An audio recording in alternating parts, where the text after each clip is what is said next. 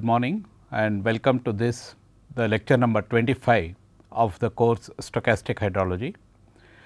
Uh, if you recall in the last lecture we introduced the concept of frequency analysis. So, when we are dealing with extreme events uh, for example, high flows or high storm intensities or low flows which result in droughts and low rainfall values and so on. So, essentially when we are dealing with extreme events, we would be interested in answering questions such as what are what is the frequency of occurrences of a given magnitude of flow for example. And that is when we uh, define the recurrence interval which is the time duration between occurrences of two uh, extreme events of given magnitude. For example, the flow exceeding a value of 5000 cubic meters per second. What is the recurrence interval between such consecutive occurrences? And we also introduced the concept of return period, which is actually the expected value of the recurrence interval. When we say a return period of 20 years for a flood flow, it indicates that once in about 20 years on an average we may expect such an event to occur. Then we went on to uh, define the probability of such an event which is probability of x being greater than equal to x t, where x t is the magnitude of that particular uh, flood let us say and that is given by p which is which we showed it to be 1 over t where t is the return period. Then we also answered the question that the probability that a t year return period event will occur at least once in n years is 1 minus 1 minus 1 over t over uh, to the power n. What does this mean? This means that we have a t year return period event let us say 20 year flood, but we are interested in getting this uh, the probability that this 20 year return period flood will occur at least once let us say next 10 years or next 15 years or next 50 years and so on. So, that probability is given by 1 minus 1 minus 1 over t to the power n. So, this is the uh, concept that we have introduced in the last lecture. We also solved a numerical example to uh, demonstrate these uh, various concepts that we developed. Now, we will proceed further and look at uh, what is the type of data that we use for the frequency analysis. Uh, say for example, we have monthly data for last 20 years collected at a particular location. We can use the entire data as it is and then carry out the frequency analysis or we may uh, put a threshold value and carry out the analysis on all those values which appear above the threshold value and so on. So, there are different ways of constructing the hydrologic series on which we carry out the frequency analysis. Let us look at uh, some of these. For example, we may consider the complete series that is whatever observed values that uh, we have, we constitute a series out of that and then call it as a complete duration series and carry out the frequency analysis on the entire series which has been observed. You may have a daily record for last uh, 20 25 years, you may consider all the daily record and then carry out the frequency analysis. So, such a thing is called as a complete duration series. However, mostly we will be interested in the partial duration series. A partial duration series is a series of data which we select after putting a threshold value. Let us say we are interested in flows above 2000 cubic meters per second. So, we put a threshold of 2000 cubic meters per second and then pick up from the observed data you pick up all those values which are above 2000 cubic meters per second and then construct a series out of that. That is called as a partial duration series. We also have a, a commonly used series called as annual exceedance series. The threshold that we put in the uh, case of partial duration series. Let us say you adjust the threshold in such a way that you get exactly those many number of values as you have the number of years of data. Let us say you had 40 years of data, you put the threshold such that you get 40 such values above the threshold. Note that these 40 values need not correspond to 1 per year, simply 40 such values we get. Maybe some, uh, some years may have 3 such values, some years may not have any value and so on. So, we get 40 such values when we have 40 years of data and then we form, form what is called as a annual exceedance series. Annual exceedance series is also very commonly used for frequency analysis. But the most commonly used series is the extreme value series. That is it includes the largest or the smallest value occurring in each of the year.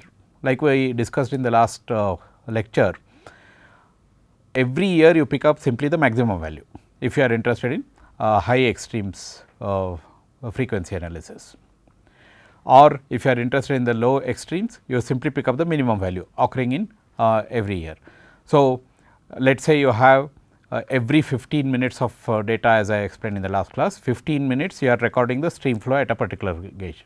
So, every hour you have 4 such values and every day you have 4 into 24 such values and therefore, every year you will have 4 into 24 into 365 such values. Out of these number of values you pick up just one value namely the maximum value that has occurred during that year and use these maximum values for uh, carrying out the frequency analysis. If you had 40 years of data, you pick up one value corresponding to each of these years which consisted of those 4 into 24 into 365 values, you pick up one value like this you pick up 40 such values and then carry out the frequency analysis on these 40 values. So, these are different ways of constructing the data series on which we carry out the frequency analysis. To make it more clear, we will see one by one. What I mean by complete duration series is the entire time series that you have observed. Let us say this is an example where we have monthly data for 10 years making it a total of 120 values. Of course, 10 years is a small duration this is I am just showing it as a example.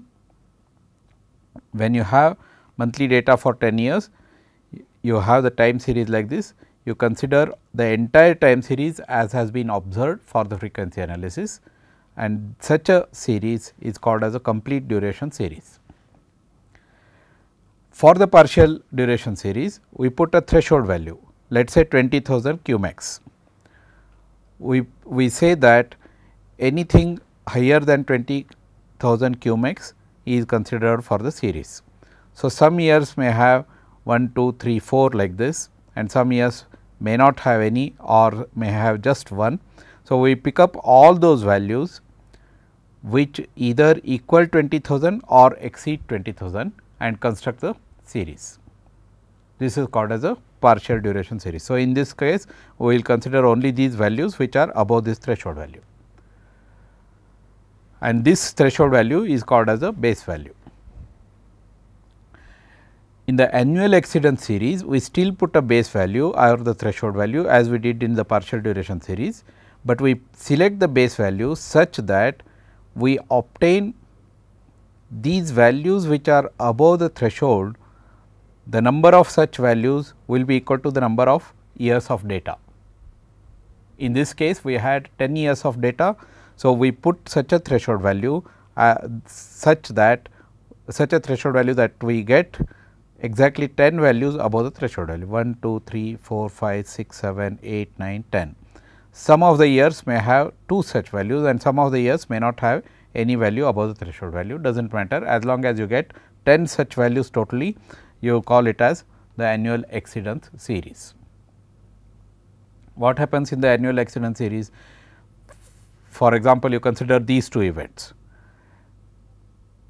The flood that has occurred or the maximum value that has occurred here may have produced this maximum value also in terms of its ability to saturate the soils and therefore, a high intensity rainfall occurring immediately after that may have caused this flood also and therefore, these need not be completely independent events. Similarly, these two need not be completely independent events.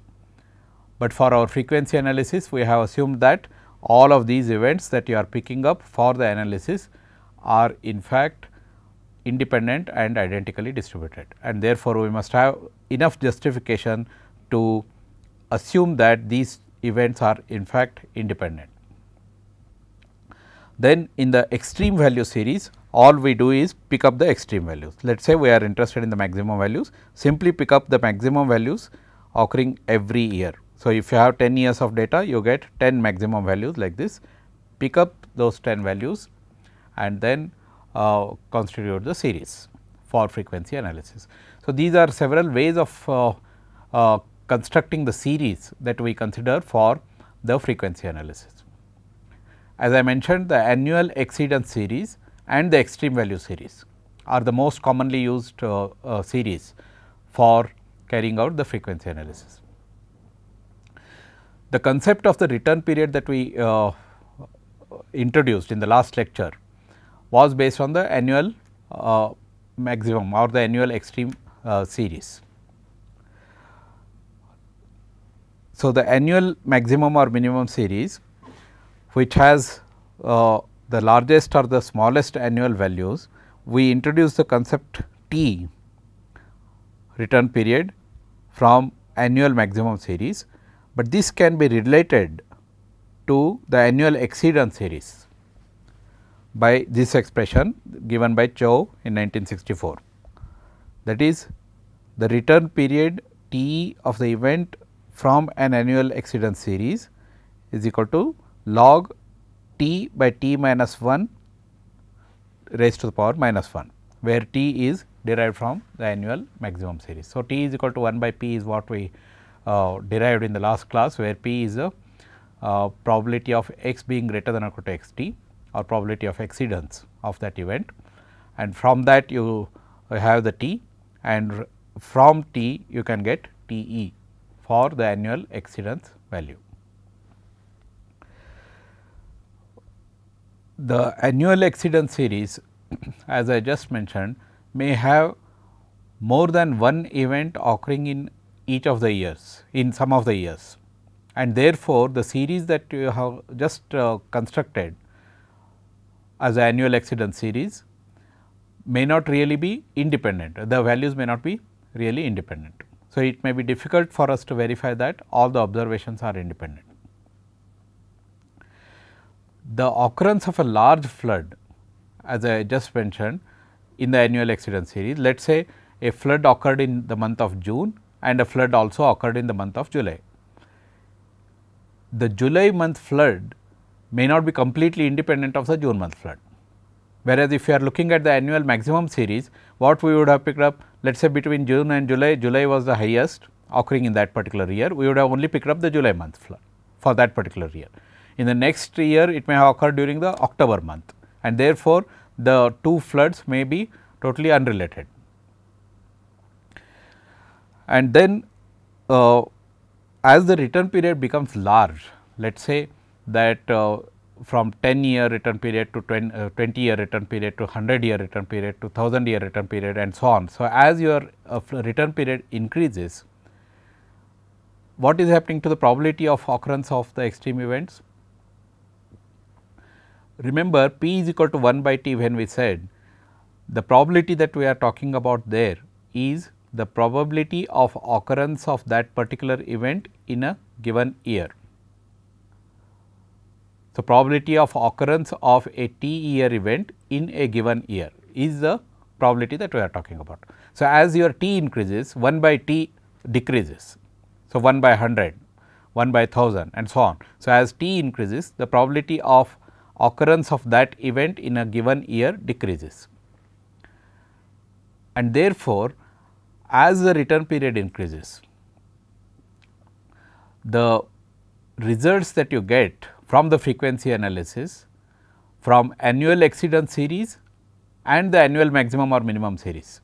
Uh, they uh, tend to converge. So, there is not too much of a difference whether you use the annual exceedance series or the annual maximum series for large t. However, for small t for example, uh, if you are looking at urban stormwater drainage, where your uh, return periods will be of the order of 5 years, 10 years and so on. Now, it is in such situations that the choice of the particular type of series, whether it is annual exceedance series or the annual maximum series that becomes important. Now, we have also seen uh, in earlier uh, lectures the extreme value distributions which deal with extreme events and by extreme events we uh, mean either flood peak flood discharge in a stream or maximum rainfall intensity or minimum flows and so on. So, given any time series we may be interested in only the extreme values recorded and we fit the distributions for such extreme values and these are called as the extreme value distributions. In fact, in the last uh, lecture also I showed what we would be interested in in such situations is really towards a tail of the distribution. Let us say you have the distribution like this of the random variable x and then you are interested in high flows. Let us say that this is x t that we are talking about. So, we are interested in this region which is the tail of the distribution and this these values is what we will be uh, considering in the extreme value distribution. So, we are essentially putting uh, fitting distributions to the extreme values and then talking about uh, probability of x being greater than or equal to x t which is actually this area and so on. The extreme value distributions that we so formulate are derived from the parent distribution or are a function of the pa parent distribution. So, depending on whether the parent distribution is bounded in this direction or is unbounded in both the directions and so on, we get uh, different types of uh, extreme value distributions as we have seen in one of the earlier lectures. So, in the case of uh, hydrologic uh, extremes, we may be interested in let us say study of peak flows, where we use the largest flow values recorded at a gauging station or if we are interested in uh, low flows, we may simply pick the smallest observed flows in a particular stream and so on and then formulate the, the series corresponding to these. depending on the uh, parent distribution, there are three uh, types of extreme value distributions that we normally use. One is the extreme value type 1 EV 1 it is called as uh, it is called as EV 1 in which case the parent distribution is unbounded in the direction of the desired extreme. Let us say you are talking about maximum flows or the maximum values. So, the distribution is unbounded in the direction of the maximum flows and all the moments of the distribution exist because we will be uh, interested in distribution being unbounded as well as the moments uh, being uh, moments existing. In such a case we call it as extreme value type 1 distribution. In the case of type 2 the parent distribution is unbounded in the direction of the desire, desired extreme, but all the moments of the distribution do not exist. In the case of type 3, normally we use extreme value type 1 and extreme value type 3. In the type 3, what happens? The parent distribution is bounded in the direction of the desired extreme. Let us say you are looking at low flows. Low flows uh, uh, generally you know in hydrology most of the most of the variables that we uh, consider are all non-negative and therefore, they are bounded by 0. So, when you have a distribution which is bounded by 0 and you are considering the distribution of the low values, then you use extreme value type 3. So, typically the extreme value type 3 is used for low extreme values, minimum values whereas extreme value type 1 is typically used for maximum flows or maximum values, although it can also be used for uh, in uh, some situations it can be used for uh, low values as well. Let us look at the extreme value type 1 distribution. The type 1 distribution the CDF or the cumulative uh, probability distribution cumulative uh, distribution function f of x is given by this we have seen earlier just for completeness sake I will put it again exponential minus exponential minus x minus beta over alpha where beta and alpha are the parameters of these. And it is defined for the entire region minus infinity to plus infinity. These parameters alpha and beta are estimated thus. Alpha is equal to root 6 s divided by pi where s is the standard deviation sample estimate of the standard deviation.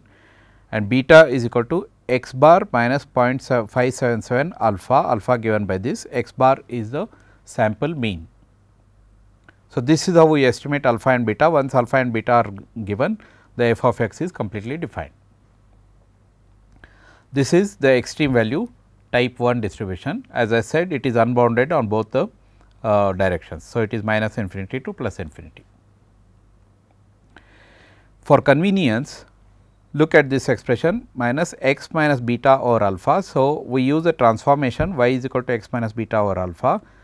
We use this transformation and then we express the CDF this is a linear transformation. So, we write f of y is equal to exponential minus exponential minus y and y varying from minus infinity to plus infinity from this.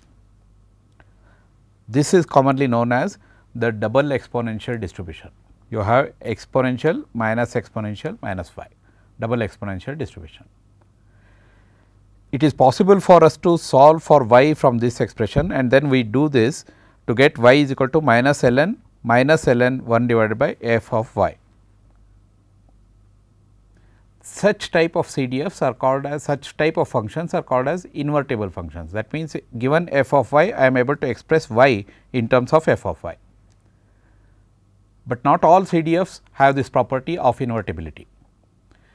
Because the extreme value type 1 distribution, uh, uh, the transformation of that into the double exponential distribution is invertible, we use this property and then carry out the frequency analysis. The frequency analysis that we carry out directly on based on the CDFs using the property of the invertibility are actually analytical methods, which means analytically we should be able to determine uh, y t for a given uh, return period t, because we will, we will know from, from a given return period t, we know the probability of exceedance, probability of let us say y being greater than or equal to y t and from which we know f of y, from f of y we get y. So, this is just a straightforward analytical method which is possible only when your CDFs are invertible in the sense that we will be able to express x in terms of f of x or y in terms of f of y in this particular case. Because our probability small p we defined as probability of x being greater than or equal to x t, this is the magnitude corresponding to the return period t and this we have shown it to be 1 over t. So, small p which is equal to probability of x being greater than or equal to x t is 1 by t. What is probability of x being greater than or equal to x t? We can write this as 1 minus probability of x being less than or equal to x t because it is a continuous variable it does not matter if you write small, less than or less than or equal to. So, this will be equal to 1 over t. This is our f of x.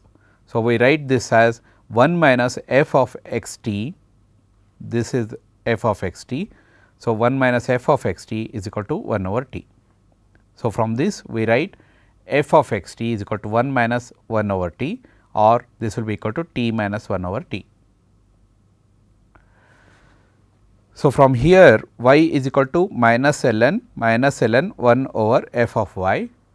Now, this f of y using the expression for f of y here f of x t in this particular case, I write it as y is equal to minus ln ln t over t minus 1 because 1 over f of y.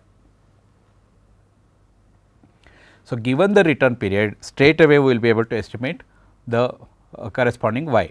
Once you know y, you know the transformation that we have used that is x minus beta over alpha, beta and alpha are estimated from the sample and therefore, we should be able to get the corresponding x value. What I mean by that is that let us say you have observed stream flow data which are x, observed maximum annual maximum stream flow data which are given by x and then from the observed series you would have estimated alpha and beta from these expressions. So, the parameters are estimated and therefore, you have used this particular transformation and fix the return period for which you want the corresponding value. Let us say you want uh, a value corresponding to 100 year return period. Then corresponding to the 100 year return period you get y, this is t is fixed as 100 year and therefore, you get y. Once you get y, you can get x from this because alpha and beta are known. So, this is how we obtain the magnitudes corresponding to a given return period when we are using the extreme value type 1 distribution. Let us uh, uh, carry out a simple example now.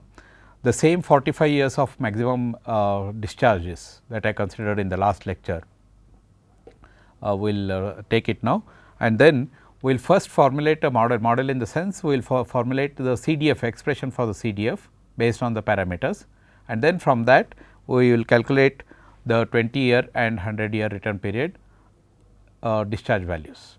That is the discharge values corresponding to return periods of 20 years and 100 years. So, this is the data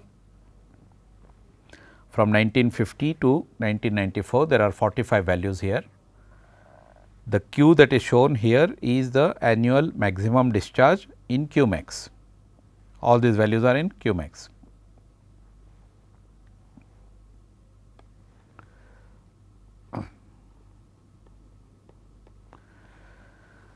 Then what we do is we first calculate the mean and the standard deviation of this uh, data. So, the mean comes to be 756.6 cubic meters per second and the standard deviation is 639.5 cubic meters per second.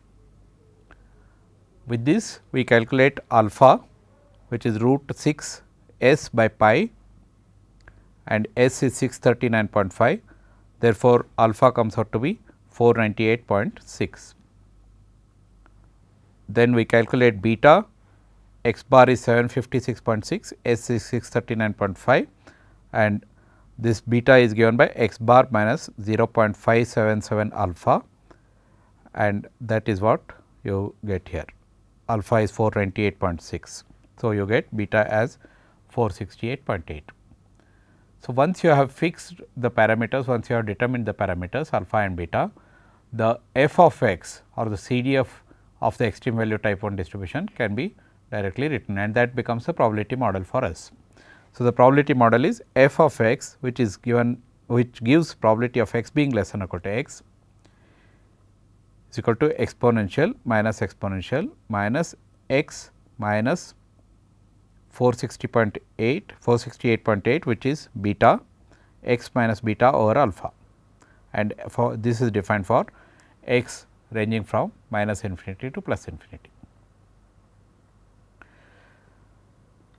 Then we go to the transformation y. So, this is the probability model. Remember this gives probability of x being less than or equal to x and what we would be generally interested in when you are using uh, extreme value type 1 distribution is probability of x being greater than or equal to x and that is given by 1 minus f of x.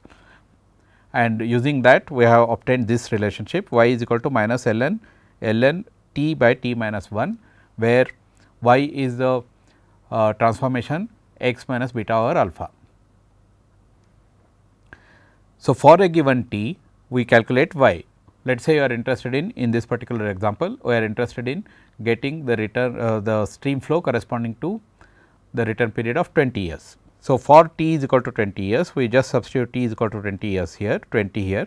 So, y 20 is minus ln ln 20 by 20 minus 1 which is 2.97 where y is x minus beta over alpha.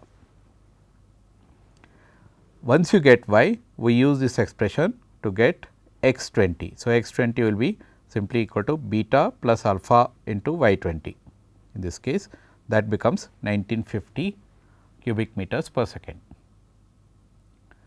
So, for the data that we have here you just look at this we are getting a value of 1950 1950 for a return period of 20 years. There is one value which is more than that other than that you do not see uh, there is another here uh, other than that you do not see values that have exceeded this in the record 1950. So, 1950 cumecs is a value that you can expect at this particular site to occur once in about 20 years in a long period of time. So, this is the interpretation of the uh, flow corresponding to a return period of 20 years. Similarly, for uh, t is equal to 100 years, we use the same method and get y is uh, y 100 as 4.6 by putting t by t minus 1 and taking the logarithms double logarithms you get y 100 is equal to 4.6 and the corresponding x 100 will be equal to beta plus alpha into y 100 beta and alpha remain the same and you get this as 2762 cubic meters per second. between the 20 year return period and the 100 year return period there is a significant difference 1950 cubic meters per second is what you get for 20 years and for 100 years you get 2762 cubic meters per second. From the data of 45 years now we are now able to say using the extreme value type 1 distribution we are now able to say that if you are using that particular data to construct a reservoir which has to which has to pass over a 100 year return period flow, then this is the value that you have to use for the design of the spillway. That means, the spillway should be eh, designed to pass a discharge corresponding to 2006 762 cubic meters per second, which may not have occurred in the data at all, although in one case it has occurred but even if it has not occurred in the data at all from the extreme value type 1 distribution, we should be able to assess or the estimate or estimate the value for which you have to design the spillway if it has to pass a 100 year return period uh, flow and that is the idea of the frequency analysis. Extreme value distributions as I said have been widely used in hydrology especially for of floods and low flow uh, distributions and so on. Typically, we use extreme value type 1 or the type 3 distributions.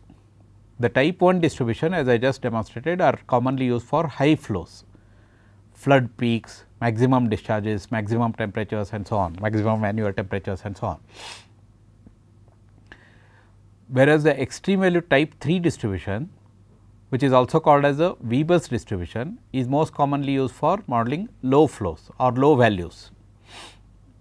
And low flows as you know are important for drought analysis or in the case of water quality, stream water quality and so on, we will be using the low flow analysis. So, it is important for us to assess low flows corresponding to certain return periods. The extreme value type 1 distribution is also called as a Gumbel's extreme value distribution. A concept of general extreme value uh, distribution also exists, where you have an expression which encompasses all the extreme value distributions uh, that we have uh, we generally deal with. That is called as a general extreme value distribution. I will not be covering that in the in this particular course, but remember that this different types of distribution extreme value distributions that we talked about type 1, type 2, type 3 etcetera, they can all be combined into some general uh, expression to give a general extreme value distribution.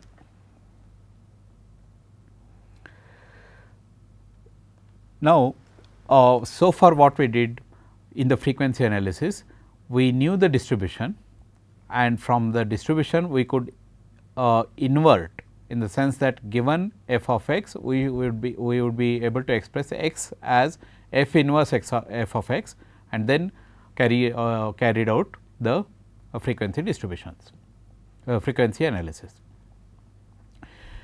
However, it is not always possible that the CDFs are invertible in the sense that you may not be able to express always x as f inverse of x.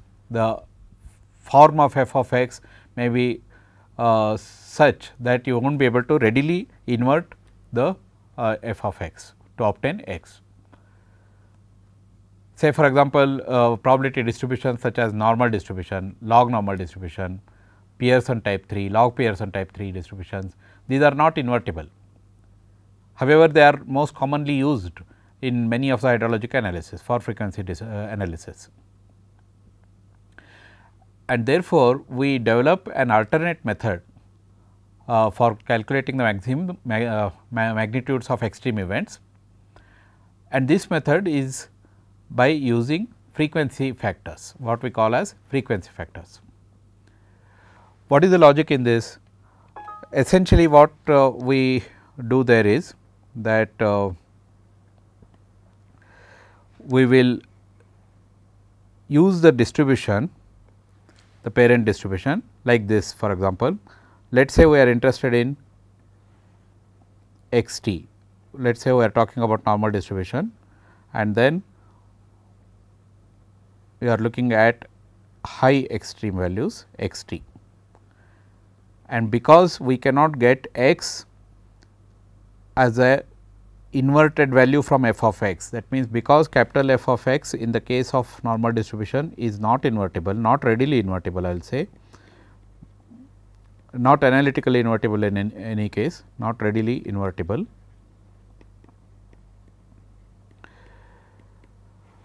What we do is that we take this extreme value as a deviation from the mean So, we write this as mu plus k into sigma some k times sigma this is mu here this is the mean and this is x t and we are interested in getting to this value that is we are defining this as an extreme. So, we write this as mu plus k into sigma.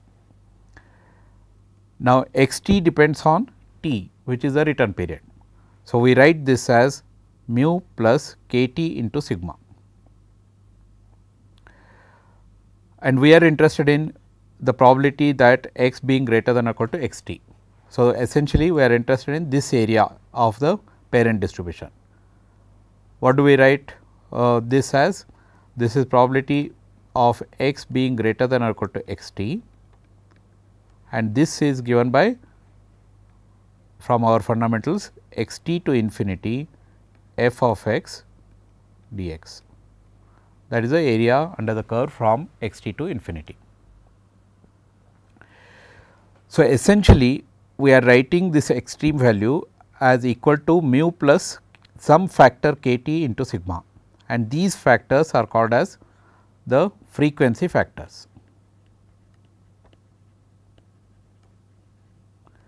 So, k t we denote it as a frequency factor.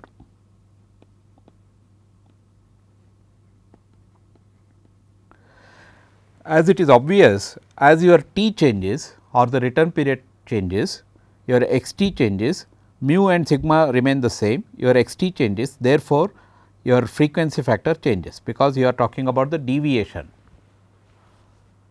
from the mean. So, k t is a function of the return period and that is why we put this subscript t. It is also uh, noteworthy that k t is also a function of the probability distribution itself. For the same x t value let us say if your mu and sig sigma changes k t will also change. So, k t is a function both of the return period and therefore, we put t and of the probability distribution itself. So, for a given probability distribution you should ha have the factors k t for different return periods and we use this uh, concept of the uh, frequency factors to get the uh, return uh, get the magnitudes corresponding to given return periods. So, that is what we do in the uh, method of frequency factors. So, we use the frequency factors and determine the magnitudes. So, like I said we essentially express x t as mu plus some delta x t this is the deviation and this delta x t we write it as k t into sigma. Uh, I will just uh, explain it again for completeness sake. So, what we are doing is for any given distribution not necessarily normal distribution we are writing x t here and your mean may be somewhere here mu. So, we write this as k t into sigma.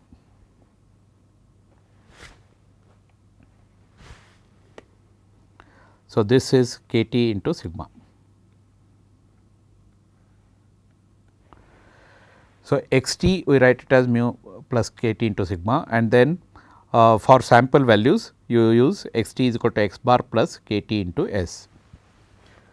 So, knowing x bar and s and if you know k t we should be able to get x t. Now, how we determine k t for different distributions is a question that we will address now. So, essentially the method of frequency analysis using the frequency factors boils down to this expression x t is equal to x bar plus k t into s. S and x bar are estimated from your data and k t is known or uh, can be derived or is available for a given distribution. Let us say normal distribution we have the k t for a given value of t. Log normal distribution we can derive k t for a given value of t and so on. So, given the distribution you know k t values and therefore, we know we will be able to get x t. What is x t? Again uh, to repeat x t is the magnitude of the particular uh, variable corresponding to a return period of t. So, the derivation uh, I am sorry the frequency factor is as I said a function of both the probability distribution the parent distribution as well as of the return period. So, as the return period changes your k uh, the frequency factor changes as the probability distribution changes the frequency factor changes. Now, let us say from your original data uh, from stream flow data let us say uh, you are converting it into logarithmic uh, flows.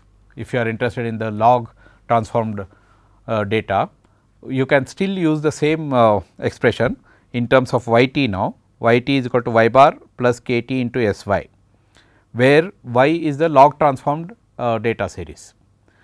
So, you get from the log transformed data series the k t values remain the same and you get uh, s y and y bar from the log transformed series and you obtain y t from y t you should be able to get x t again back.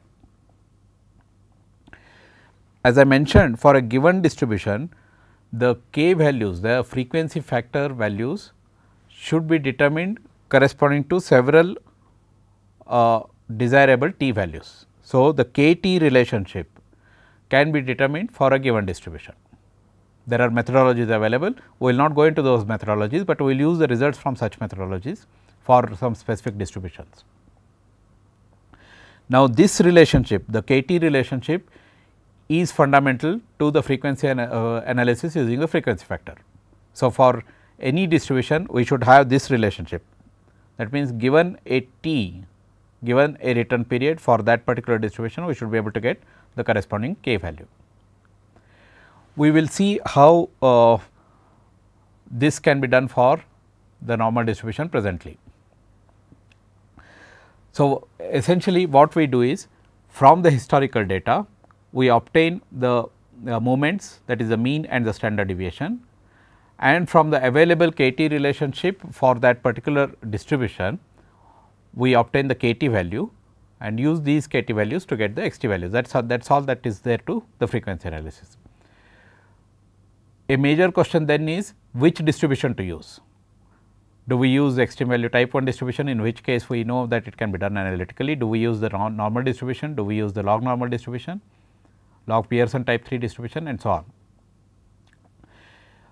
It is there that some judgment is involved and also there are analytical methods of uh, estimating which distribution best fits the particular data, which we will cover in subsequent classes.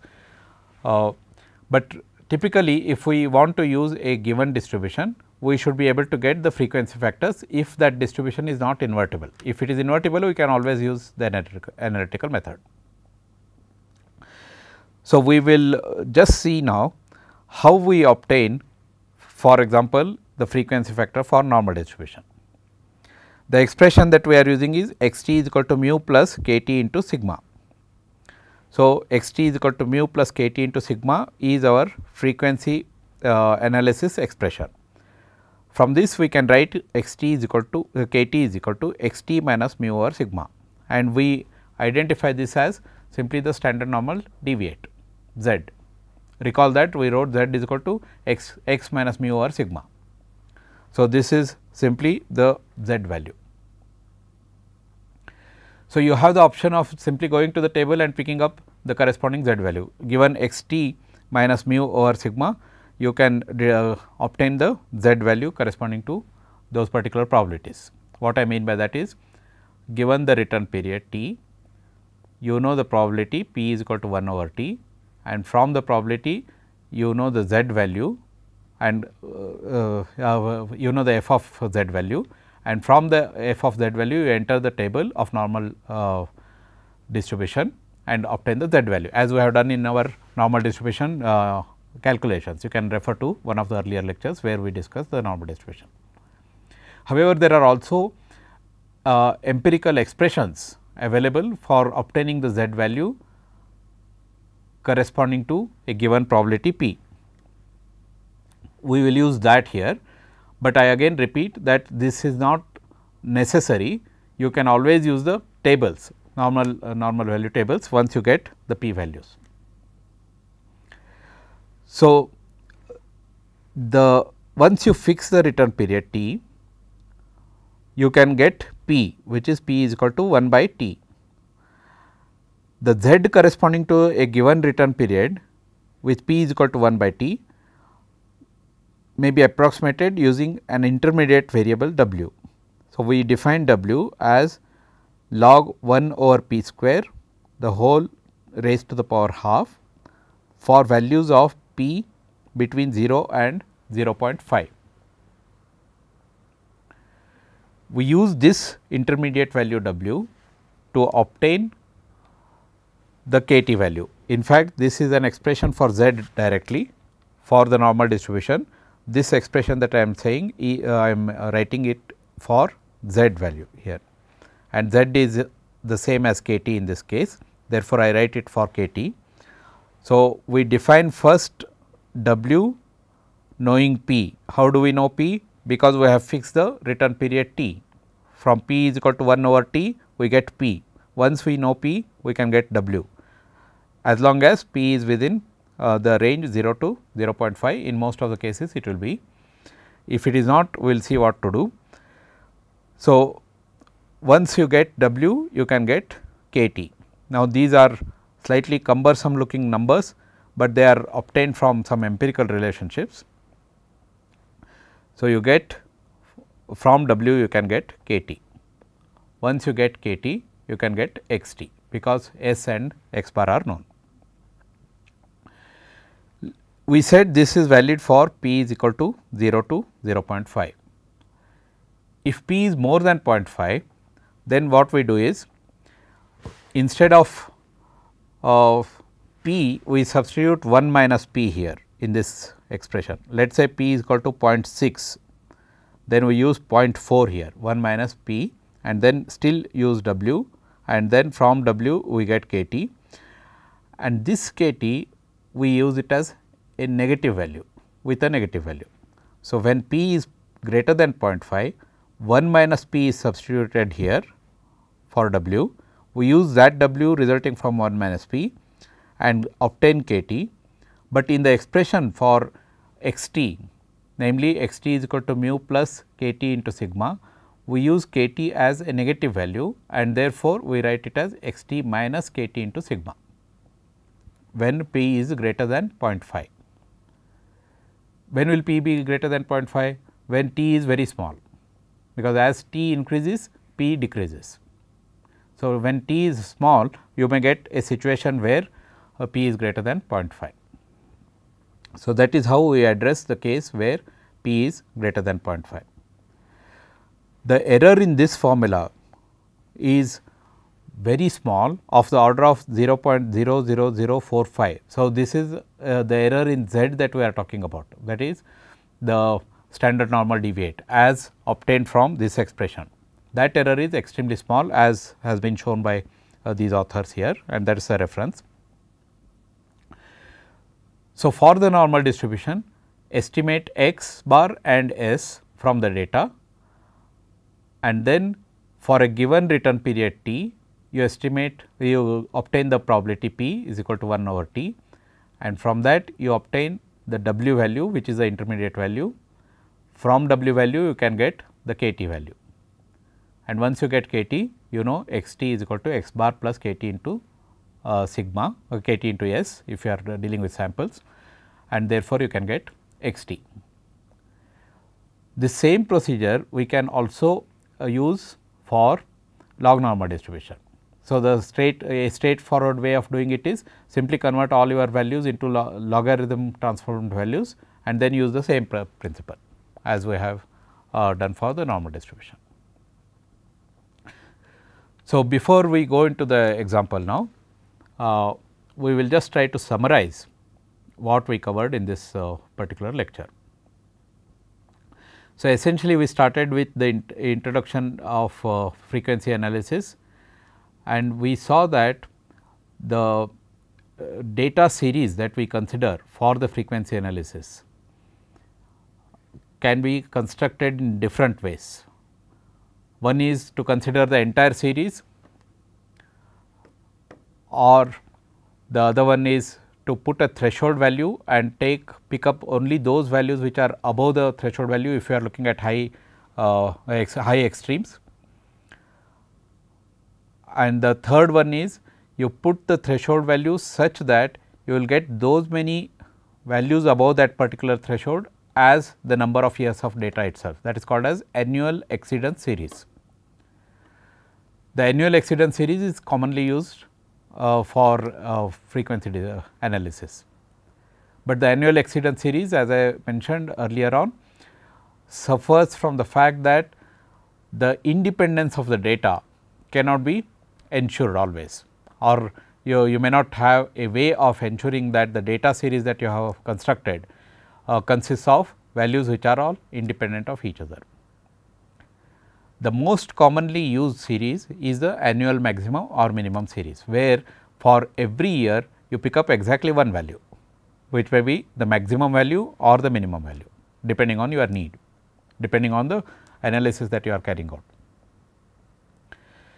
Then once you know uh, once you have constructed the series, then you can go with the extreme value distributions, extreme value type 1 distribution, type 2 or type 3 distribution. In hydrology most commonly we use extreme value type 1 or the extreme value type 3 distributions. If you are looking at the maximum values or the high extreme values, you typically use extreme value type 1 distribution which is also called as the Gumbel distribution. From the uh, CDF of the extreme value type 1 distribution, it is possible for you to obtain x t which is the magnitude of that particular variable corresponding to a return period of t because extreme value type 1 distribution is invertible. Similarly, we use the extreme value type 3 distribution when we are looking at low extremes for example, low flows, low rainfall values and so on. The extreme value type 3 distribution is also called as the Weibull distribution there are certain distributions which are not invertible and which are also most commonly used in hydrology. For example, the normal distribution, the log normal distribution, log Pearson type 3 distribution etc. Now, for these distributions we use the method by method of frequency factors and that is why what we introduced in this particular uh, lecture. The frequency factors, uh, the basis for the frequency factors is that we take x t as a deviation from the mean. So, we write x t is equal to mean plus some factor k into sigma So, it is uh, deviating from the mean from uh, by an amount of k into sigma and k are called as k the factors k are called as the frequency factors. Frequency factors are a function of the return period t as well as of the parent distribution itself. So, for a given distribution we should have a k t relationship which means for a given return period we should be able to get k. And we saw that for the normal distribution the k t just corresponds to the standard normal deviate z. So, once you fix the t you are, you are actually fixing the p and uh, that is probability of x being greater than or equal to x t and therefore, from this you can go to the normal distribution tables and pick up the z values. There is also an empirical relationship that uh, I just introduced from which you can get k t value. So, once you get the k t value you can get the corresponding x t value. The whole idea of the frequency analysis is to obtain x t values x capital T for a given ca uh, capital T which is the return period. We are interested in getting the magnitude corresponding to that particular return period. Return period.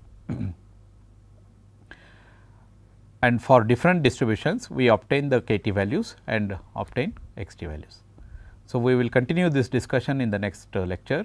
We will start off with an example of the normal distribution, uh, numerical example which will uh, drive home the points that I have been discussing in this particular lecture. Thank you very much for your attention.